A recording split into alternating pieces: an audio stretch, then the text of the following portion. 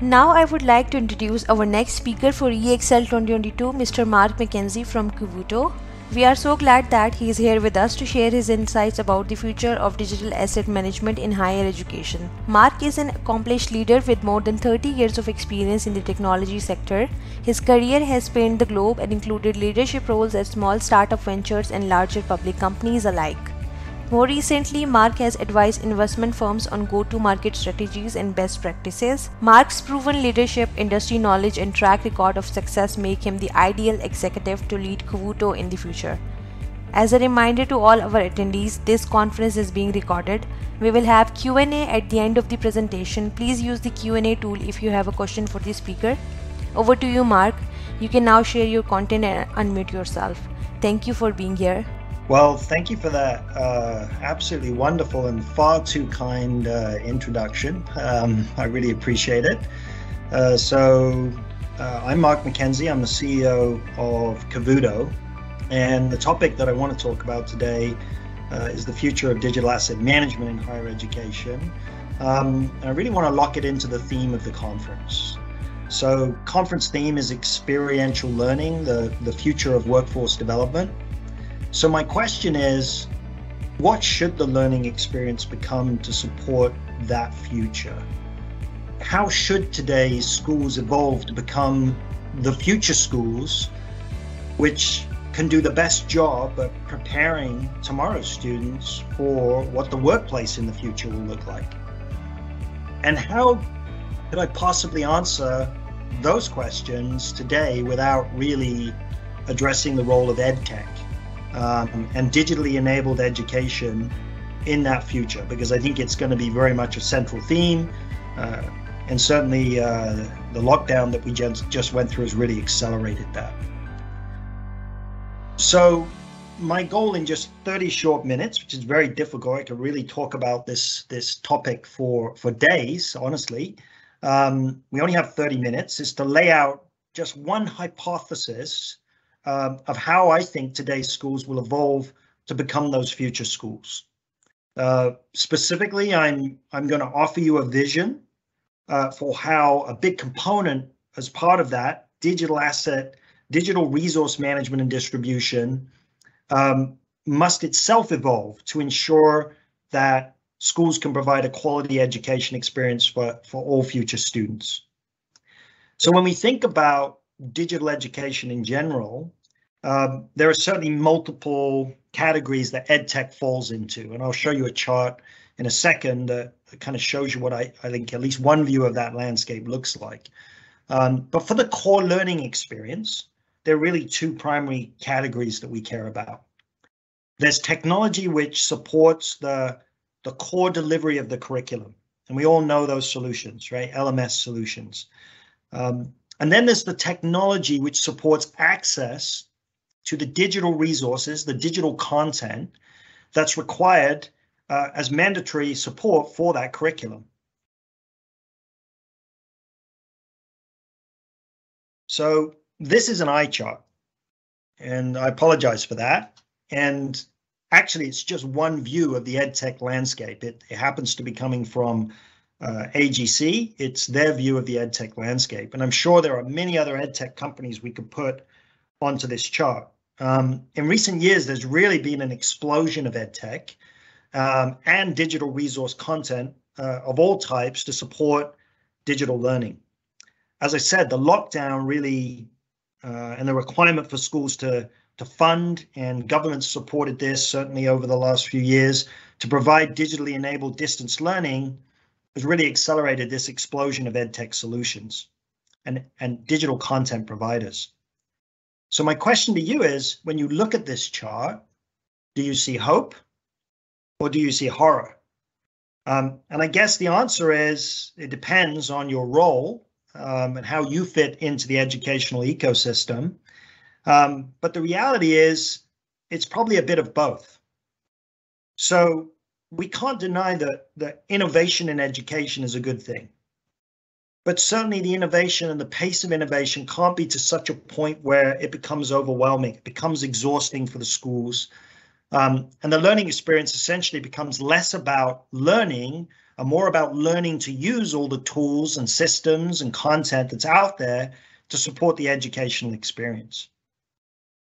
As far as digital resource content goes, at Kivuto, you know, we recognize that there's an ever expanding list of digital digital resource types and the number of those in each of the categories. So for example, academic software estate.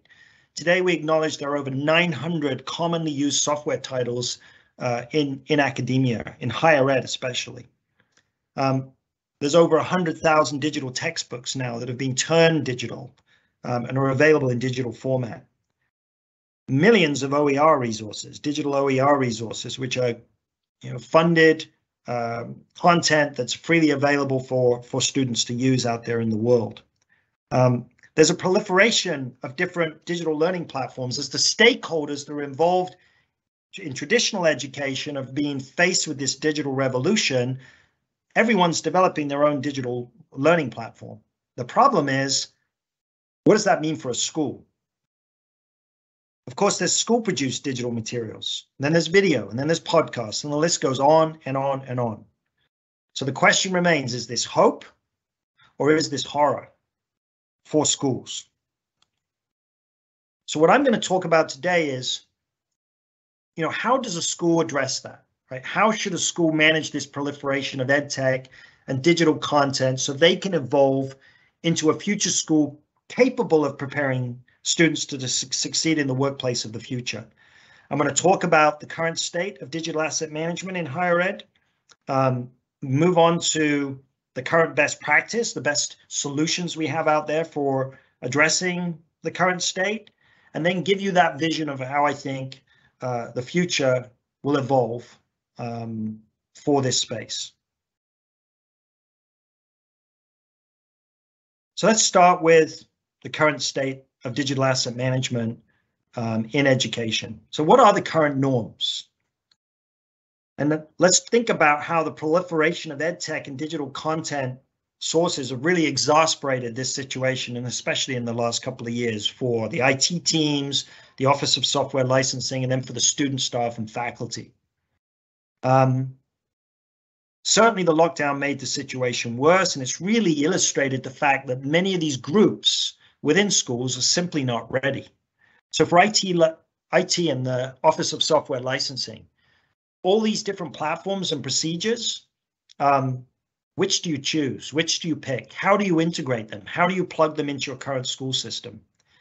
Much of the software still today is distributed in many different forms. There's physical media, there's uh, perpetual license downloads, there's cloud access. The, the groups, the IT groups and the Office software license groups, many of the things they do to manage access to all of that software content uh, is manual and consumes a lot of headcount. Um, they have limited visibility. They have to use spreadsheet spreadsheet tools, or they have to repurpose their ITSM solution, or find some kind of way to build a manual, um, homegrown system to to manage all the complexity. And with that, there's then no way to ensure compliance. All right, all, all of these software products, and all of this digital content typically comes with licensing that has terms you have to comply with. And then there's data security issues, PII compliance issues. How do I deal with all of those? And all of this costs money, right? We have to, in many cases, we're trying to buy an enterprise license for the school, um, or we're trying to figure out if we paid money up front, how do we recover costs? There's no easy way to implement cost allocation or, uh, for an enterprise license or to get the students to participate in some form of cost recovery. How do you implement that with a homegrown system? Or if you're using a spreadsheet to manage uh, the distribution of the digital content. So for staff, uh, students and faculty, how do you deal with all these different platforms and procedures for, for obtaining all the different software you need, all the different ebooks um, and other digital resources for your course? I've literally seen solutions with schools that present web pages to students that have a whole series of links and every link leads to a different solution, a different system, a different reader, that the student has to learn in order to be able to consume the content content that's being mandated as part of their curriculum. It's an absolute nightmare for the students. They have confusion over where to go and how to get all the books they need in a timely fashion. And it's been proven statistically, data shows that when a student gets access to content in a timely fashion in their curriculum, their scores improve. And when they don't, they decline. There's no real direct linkage between uh, curriculum content. So if I'm in the LMS and I'm studying away, how do I directly link the moment of need, of content need, to the curriculum and the education journey that's happening? How do I do that? Um, if I have lots and lots of different systems, lots and lots of islands of automation, in order to be able to facilitate that linkage. I have very limited ability unless I have business rules built in around things like inclusive access or equitable access or tech fees. How do I implement and enforce eligibility and entitlements so that students get what they're entitled to? And if I can't do that, does the student just go out and buy it on the open market? In which case they're then spending more money than they necessarily need to in an already expensive uh, educational journey. So here's a picture of kind of what this looks like. I mean, essentially what we have is a many-to-many problem, right? There are many ISVs, there are many software vendors providing academic, academic software into schools.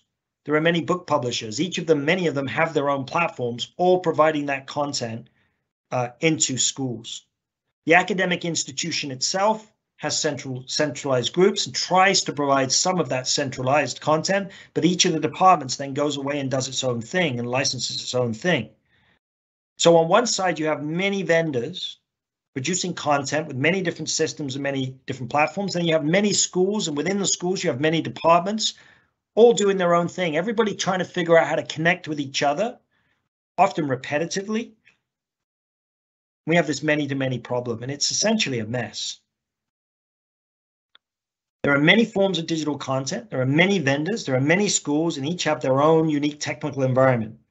Um, and then, of course, you have the students bringing their own device to school as well. So how do we solve this? How do we solve this problem? Well, the current best practice, and the good news is there is some hope out there. Um, there are vendors, and of course, Kivuto is one of them, uh, that look to bring order to that many to many chaos. So the current best practice is really to just do the simple task of taking many software vendors, bring them into one place, and then distribute the content out uh, to the many schools. So we take the many to many and we make it a many to one to many. Um, even with that model, though, there are still many challenges with the approach. And much of that tends to be rooted in how humans adopt innovation. Um, we have a tendency uh, to be ontologically entrenched in the ways in which we do things. So if I look at this model in front of you now, what you see is you see software vendors. Software vendors, the way they interact with educational institutions is they're typically doing some sort of uh, enterprise license agreement or campus agreement, and they're a software company, so they act like a software company. The school has to treat them as a software company. The publishers, very different beast right? A book publisher is very different than a software company. Book publishers themselves are typically made up of fiefdoms that kind of map to geologic, geo, geographic lines. Um, and each of those geographies will tend to act a little bit uniquely in, in how they want to interact with schools in their geography. And so there are agreements between publishers and schools, and it's a book publisher type agreement. And there's specific agreements around how you consume digital assets. Um, we have to ingest their content. So how we ingest the content is different from software vendors to book publishers. And then we have other asset types like OER resources and resource codes and learning platforms. Each of those we have to figure out a handle in this centralized system. So the way it works typically today is we have to handhold the vendors. We have to handhold the book publishers. We have to bring them in to the system and help them come in and treat them uniquely and individually. The schools themselves still think in traditional terms. So they still think about IT. They still think about a library. They still think about a bookstore. But let me ask you this question. If I have a digital textbook, does the concept of a library and a bookstore even make sense anymore? Because if the only distinction between a, a library and a bookstore is the borrowing versus purchasing mechanism of that book, of that physical book. Once I have a digital book and I have unlimited, by definition, I have unlimited quantities, Surely the only distinction is the length of time that I'm keeping the digital book for. I'm subscribing to the digital book. I can subscribe for a day, a week, a month, or forever, in which case it's a perpetual license to that book. What I would propose to you today is actually the concept of a library and a concept of a bookstore are actually dead man walking. They make no sense in schools today because we already have the digital textbook. So what are schools going to do with these lovely library buildings and these lovely bookstore buildings? And this is a problem that is in human nature. So we tend to, to hold on to concepts. So think about, I'll give you an example from Victorian England. Um, back in the Industrial Revolution, there was a million working horses in Victorian England. Those working horses worked the roads and the canals and pulled uh, goods around um, industrial England on a massive scale. And then the in internal combustion engine was invented. And suddenly there was a possibility of replacing horses with uh, fuel engines, petrol driven engines. Interestingly, that innovation was considered an anti pollution mechanism, which is kind of ironic if you think about the world today. But because the horses would obviously mess up and foul in the streets and in the canals, the introduction of the in, in, in internal combustion engine was seen, seen as an anti-pollution mechanism. So basically, the, the automobiles replaced the horses, but of course, we call the power associated with a car horsepower. And that's because humans are ontologically entrenched. We still think in the old way even when we have an innovation in front of us. And often when the innovation is there and it'll solve the problem, it takes us a while to adopt that innovation. So today's best practice with digital resource management and distribution is good, um, but it's still rooted in these historical concepts. We're still treating software vendors uniquely and book publishers uniquely, and we still think about terms of a digital library and a digital bookstore and my academic software estate uh, that I have. So we offer up islands of automation, and that makes it more difficult to manage and control uh, the digital education journey. If you think about academic software as an example, to give you one more example, academic software today, most of it could be cloud-based. But the vast majority of those 900 software titles are still delivered as perpetual licenses in download form. And that creates a headache that we have to manage.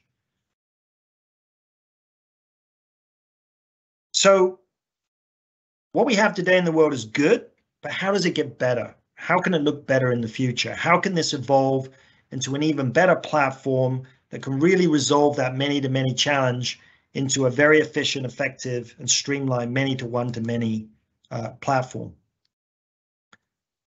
So what needs to change to get to a better future um, is we need to define what a best practice in digital resource management and distribution. We need to we, we need to find what a definitive edge enablement layer between digital asset creators and education consumers and managers should look like. And I want I do want to point out, even when we define this, right, this future that I'm describing here, it's not like I can click my fingers even though much of the technology exists today, it's not like I can click my fingers and it's just going to happen overnight. It's going to take time, right? What will happen is this hypothesis, this vision I'm presenting to you right now, I think it will become an option to start with, a, a, a viable option that ultimately over time will be adopted more, and then eventually it will become the new standard. And that's my hypothesis. So I think the path forward here is clear. What we need and the path that um, digital asset management and education needs to take is actually a well-trodden path. That path has already been taken by the music industry. It's already been taken by the movie industry and the uh, TV content industry. So if we think about how those spaces evolved, we've always had digital content producers on one side and then consumers of that content on the other. What has essentially happened in both those spaces, in all three of those spaces, I should say, is that essentially they've munged together. And on one side, you have packaged digital content providers that provide a service that plug into a centralized platform that the consumers on the other side, it's very easy to understand what you get, to sub subscribe to, and then you can subscribe to it and consume that content on an ongoing basis. So we need exactly the same thing in academia. So on one side, on the left side here, on the vendor side, I can have any vendor. It doesn't matter if it's a software vendor, a book publisher. Um, it could be you. It could be you producing some content that you want to push into the academic system to be consumed in the digital enabled academic curriculum. What the system, the platform should do is enable you to self-service onboard yourself, set up your business rules for how your content can be consumed, the licensing models, it should facilitate in real time the establishment of the agreement between you and the educational institution. It should enable you to manage the financials associated with the content that's being consumed. It should pay you on time. Um, you should pay the appropriate uh, subscription for you to be participating in the model. It should provide you great data insights into how your content's being consumed, how you can improve it over time, and then offer you marketing services so you can promote your content.